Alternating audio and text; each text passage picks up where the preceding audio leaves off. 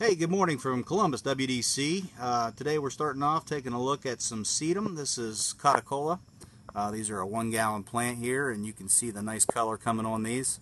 You know, aside from the nice bloom in the fall on this plant, uh, again, we've looked at this just for the color of the foliage. It's kind of a, a nice blue-green, uh, stays low to the ground, nice matting. Um, you know, sedum do prefer to be uh, mostly sun and, and uh, once established prefer little bit more of a dry soil, but um, again, you can see these are getting ready to put on quite a show this fall. And again, here's another look at the Cauticolas. Uh, again, makes a great ground cover for a sunny area.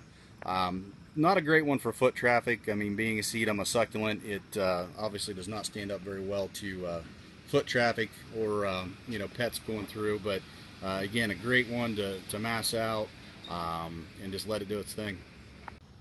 Here's another great ground cover sedum. This is uh, Lime Zinger, and as you can see, uh, it's got kind of a variegated foliage. Uh, again, very close to the ground on this one, probably four or five inches tall. Uh, just kind of masses out, um, bright pink blooms. Uh, just another option again uh, to the Cauticola. Hey, check out this fresh crop of Endless Summer Hydrangea, three gallon. these plants are gorgeous, nice full bushy plant, fresh green foliage, absolutely gorgeous great value here. Here we're looking at another new arrival at WDC. This is Brunnera Jack Frost. Uh, again, we looked at this plant earlier in the spring when it uh, has its uh, bloom going on, which is a, a small blue flower.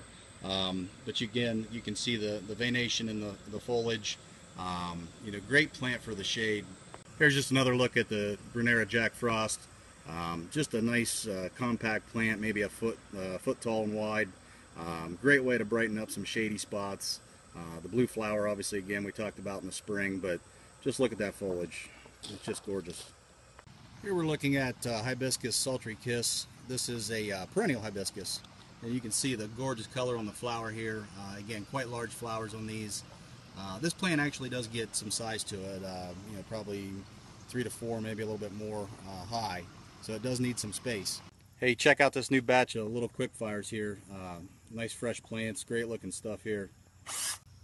Here's another new hydrangea we just got in. Uh, this is Little Lime in a one gallon, and these are really nice plants. Uh, again, um, size-wise, you know, obviously a smaller container, but nice full plants in them. Um, you know, right now they're setting bud and getting ready to bloom again. Uh, nice clean foliage, and uh, again, a very popular one that uh, we're uh, glad to have back in stock. Here's just a real quick shot of another fresh crop of lime lights in three gallons. And uh, we move through these quite frequently, but you can see here we uh, do a great job of keeping fresh crops in here. Nice cut back, full, not long and leggy and floppy. Um, you know, just great material consistently here from Willoway. Just want to get a shot back in here of our uh, seven gallon pot and pot area. These are uh, magnolias and uh, got some gorgeous looking seven gallon Jim Wilsons. Um, got a couple different types back here as well. Uh, some Janes and we got some Royal Stars, but again, you know, the seven gallon size uh, is just looking fantastic right now. Nice size to them, you know, five, six foot tall and uh, just in really good shape.